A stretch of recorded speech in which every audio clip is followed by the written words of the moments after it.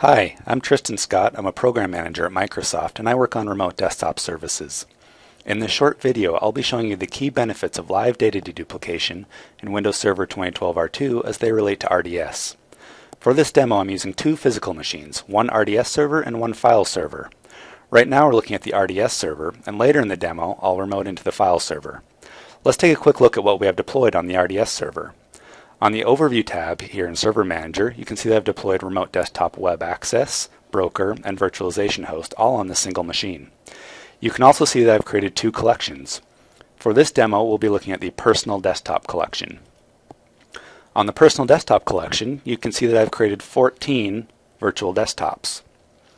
In the Properties for this collection, you can see that I chose to store all files related to this collection on a file share called Personal Desktop VHDs.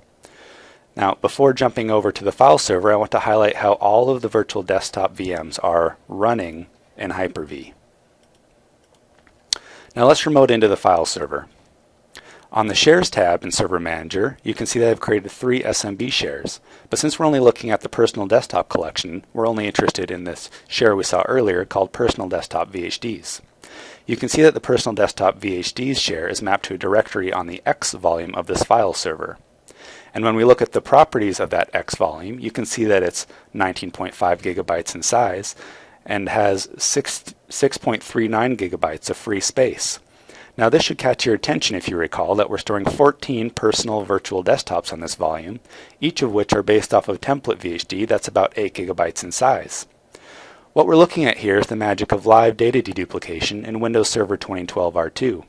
Now you might be thinking, wait, wasn't deduplication released in Windows Server 2012? And you'd be right. What's new in R2 is the ability to deduplicate live files like these VHDs that are continuously changing while they're being used. Deduplication is a post-processing task that can be configured on a volume to run on demand or as a scheduled task. And as you can see here, you have configuration flexibility, including the ability to choose specific file extensions and folders to exclude from deduplication on this volume. Deduplication works great with datasets like personal desktop collections, where the VHD files contain a lot of the same data.